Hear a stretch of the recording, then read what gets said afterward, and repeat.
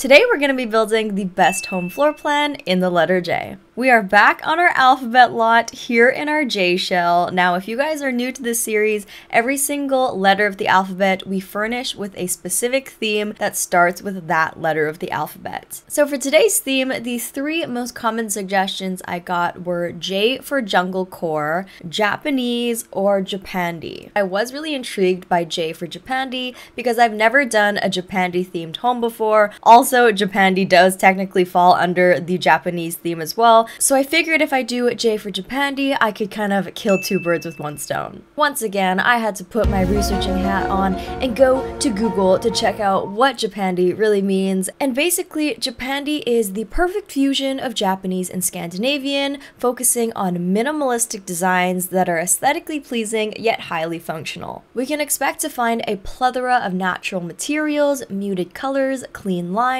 and minimal yet curated furnishings. Honestly, the inspo pics were definitely up my alley. You guys know I love a neutral, minimalistic home. And since this is the letter J, I think if possible, I might lean a little bit more Japanese rather than Scandinavian, but still try and keep it under the overarching vibe of Japandi, if that makes sense. Also, please leave your comments down below what theme we should do for the letter K. I'm already dreading all of those diagonal walls and just the weird shape of that home in general, so I'm gonna need a really good theme to make up for it, you guys. And with that being said, let's get to floor planning this Japandi slash Japanese themed home. Okay, full transparency, I've been staring at this letter J for like one minute in silence, trying to figure out what we could possibly do for a floor plan. And I've come to the conclusion that the letter J just absolutely sucks in terms of making an efficient home floor plan. Not gonna lie, it's just not looking great. We just have a bunch of like skinny looking hallways, not to mention these curved walls down here that just aren't doing us any favors. So so,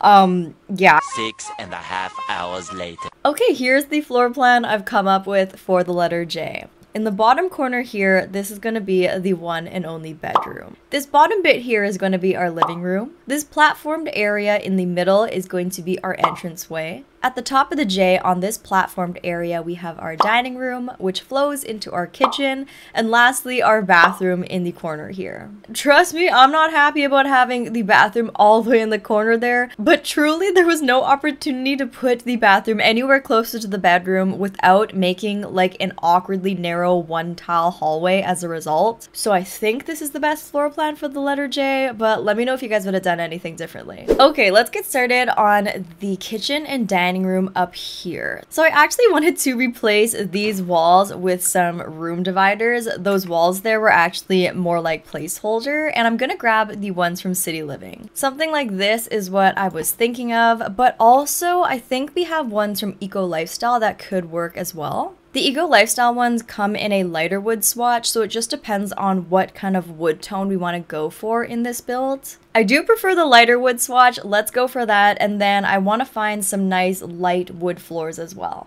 The first swatch of these eco lifestyle wood floors actually blends in pretty nicely. Now for walls, I want to go for something white or maybe light gray, maybe even go for some sort of concrete or stone. Let's try this beigey gray concrete textured one from the base game. It's called Unbent Smoothness. For the dining section, I do have it raised up on a single platform, so it is rather open concept, but I do want to give like the illusion of a sliding door just in case you want a little bit more privacy in your dining space. So I'm going to take the black black swatch of this like wall divider decoration from the spa day pack and I'm going to size it down by one and then I'm going to alt place it just right up against the edge right here and then grab some of these snowy escape columns to just anchor that. I think that looks super cute. It looks like one of those modern sliding pocket doors. For the actual dining space, I think this would be the perfect opportunity to grab this more traditional one from Snowy Escape. And then obviously let's grab the traditional tatami mat flooring as well. Maybe we can bring in some more natural light with these snowy escape windows. And for overhead light fixture, let's grab this medium height one from the Tiny Living pack. Now to finish this off, let's just grab some of these shoes from the Dream Home Decorator pack and just place them right next to the dining room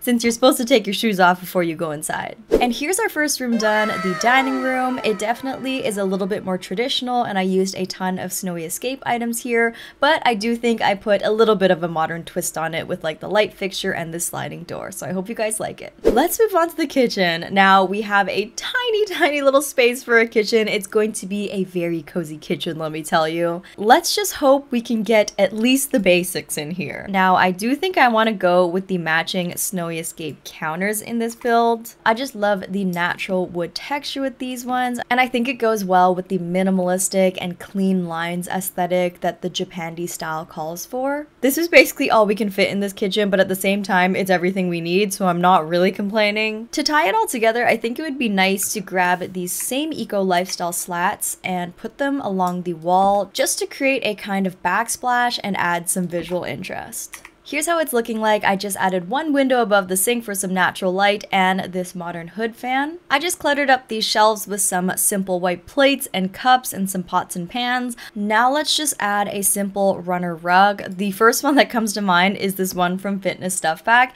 It's really weird, but Fitness Stuff Pack honestly has a lot of really great rugs for some reason. So I noticed we have this little nook in the corner here, and I do remember that the Japandi style is all about having functionality in your home as well as minimalism. So I kind of thought it would be nice to have these built-in shelves to put all of these cups on instead of putting them under the sink. I don't know, it kind of just gives a little bit more depth to this kitchen. I'm just gonna swap out the overhead light fixture for this one from Snowy Escape and then maybe choose it in like a white swatch to give it more of that modern look. Also gonna add this skinny base game plant to the corner here and finish off this space with a garbage can. So here's our kitchen area all done. It's super tiny and cozy, but it does have lots of clean lines, neutral colors, and natural textures, which is exactly what the Japandi aesthetic calls for. And overall, I think it turned out pretty perfect considering how small the space was. Okay, why don't we finish this bathroom super quickly just because it's right here and we can't really ignore it. I definitely want to include a soaker tub in this bathroom and I think that it would be perfect to use this one from Snowy Escape. It looks like those ones that you find in Japanese ryokans and stuff. It's super pretty and just like calming looking. For floor tile, I want to use something from the stone section, just really leaning into those natural materials and textures. And I kind of think these ones from Dine Out could be perfect okay, I actually changed it to this more gray color scheme and then added the same wooden slats on the wall. I feel like the black was just looking a little bit too harsh. Now for toilet and sink, I guess I'll just go for the toilet that comes with Snowy Escape. I mean, why not? And then for the sink vanity, I guess this base game one kind of matches just because it has like the wooden vanity at the bottom here. For mirror, I want to go with this clean round one from Spa Day because I want this bathroom to just have like nice spa vibes in general. Now let's grab these shoji windows. I really like these ones from Snowy Escape because they're not like completely transparent, so you don't have to add any curtains and they're perfect for bathrooms because nobody can see inside. And most importantly, nobody's gonna get mad at me for not adding curtains in my bathrooms, even though my Sims never care about privacy anyways. And last but not least, we must finish this bathtub off with this nice relaxing candle. Because you can't have a relaxing bath sesh without candles, okay? And here's our bathroom area all done. It's simple and super relaxing and we used a lot of natural textures like wood and stone to match the rest of the home. So I really like it. Time to move on to the rest of the home. So I just put this door from Snowy Escape here because this is going to be our front door section. Now here I was thinking that maybe we could have a little desk area just to make it a little bit more functional. I'll just grab this simple wood table from the base game and just slot it right in here. It fits literally perfectly. For the desk chair, I definitely want to find something that has maybe a little bit of wood in it, again, leaning into those natural textures. Maybe this one from the Growing Together pack could be cute. I'm kind of liking this pop of like dark reddish brown. This space definitely needs a little bit of color. And then I'll just grab these pictures from the new Book Nook kit and size one of them down and just like lean them up against the wall. I'm a huge fan of these new paintings just because of how simple the frame is. And intentional minimalism is really important with this aesthetic, so I'm not to put any unnecessary clutter here. This is it. I just added this contemporary bookshelf behind the desk here and then added some doorway essentials like this coat rack and the shoe rack. Now let's just choose a rug for the entryway.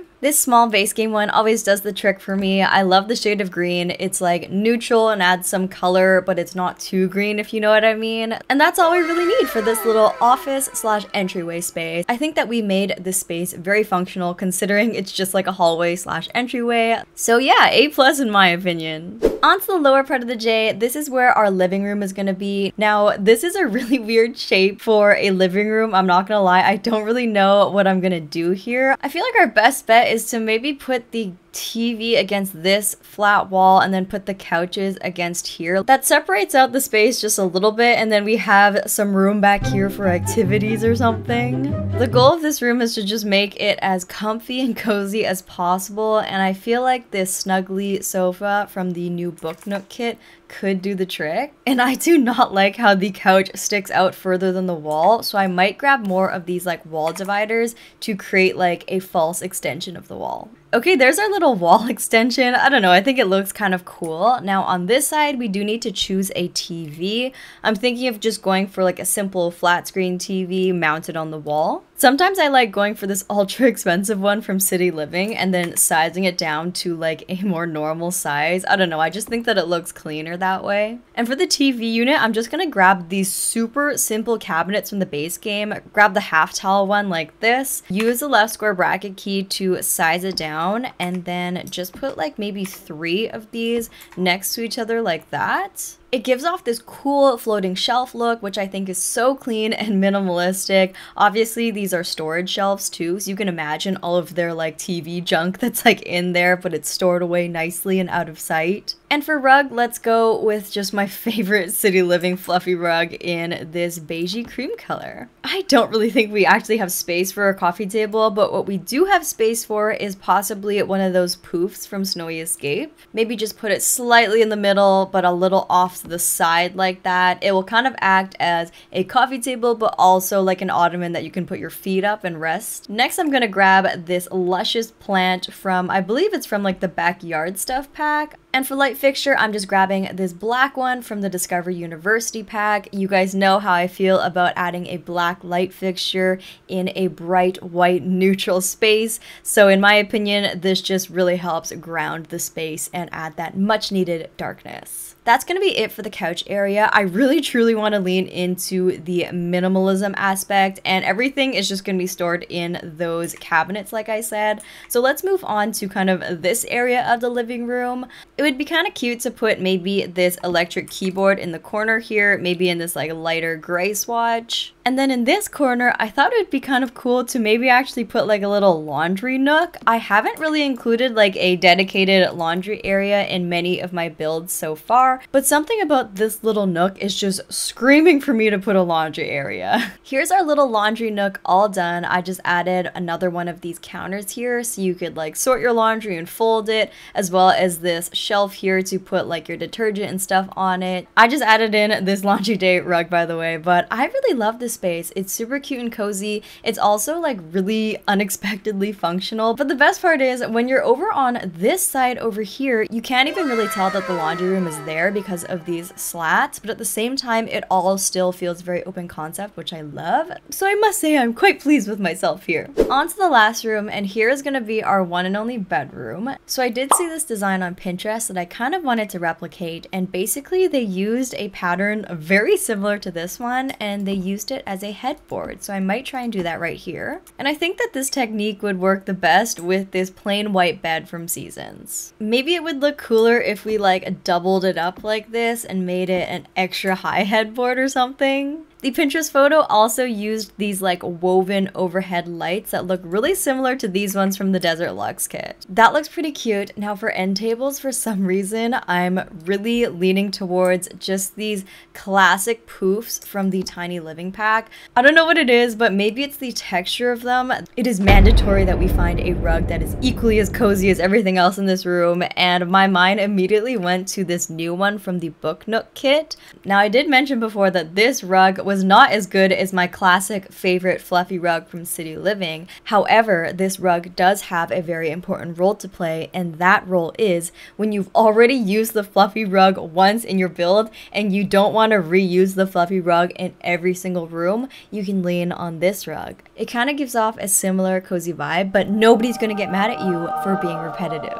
Okay, that's good for the bed area. Now let's just add a dresser or something in this corner. And it's definitely not ideal to be working with a curved wall, especially when we want to place like a super long dresser. So we are limited in our options here. Okay, this is probably the option I hate the least. I tried a bunch of them so far. This single tile dresser from Tiny Living seems to be doing the trick here. It's just, you know, it's small enough that the curved wall doesn't completely ruin it, and then maybe we'll just add like a little laundry basket and a plant on either side of this dresser. Laundry basket there because we do have a laundry room, so we definitely have to make use of that. And then the simple base game plant just on this side.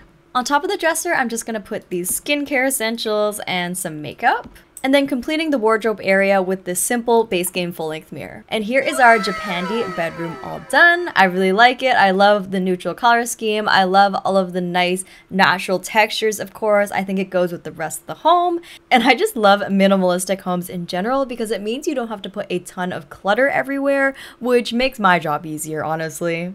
Now we could end it here, however, I think it would be cool if we added a little bit of an outdoor section in this little space in between the J. What I'm gonna do is take this window and replace it with one of these sliding doors right here. So now this sliding door will open out into this kind of courtyard area. I'm gonna take this fence from the base game and just like outline a little section right here. And I'll just raise this section up so it's in line with the door so there's no like gap there. A couple of you suggested that if I did go for a more Japanese theme for the letter J, I should include some sort of zen outdoor space with like a pond or fountain. So I think that would be a really good idea to put in this little space here. Here's the fountain area, so we can obviously add like these cute little lily pads and stuff. These ones are from Snowy Escape, so they're obviously going to be perfect. And these lotus lanterns from City Living would also work perfectly here. We can also just like change the color of the water altogether. This one has like these cute cherry blossom leaves, which is super pretty. I think I'm gonna go with that one. I switched it over to nighttime just to see how like the candles and stuff look at night and it looks so good. I placed this glass table with these two beautiful iron chairs. I imagine you can come out here and enjoy your tea or coffee and sit by this beautiful pond like day or night. It would be perfect. And then in the corner here, I think it would be cool to put this really big lantern here. It has like a cute little candle, so it's perfect for nighttime. And it also just acts as like a really pretty decorative piece as well. I put these wooden slats on the wall just to add a little bit more texture to the wall. Also, it was feeling kind of cold with just like concrete walls everywhere. So I think that ties in that warm wood aesthetic really nicely to the outside. And lastly, to add just a little bit more greenery, I think I'm going to get these wall vines right here. I think the pink ties in really nicely with the pink in the fountain. And I'm just going to stack these along this blank wall right here. It just helps to make this outdoor area feel that much more lush. And there you have it, you guys. Here is our Japandi slash Japanese J-shaped home. I really love how it turned out, you guys. I love the modern touches that I included throughout the build.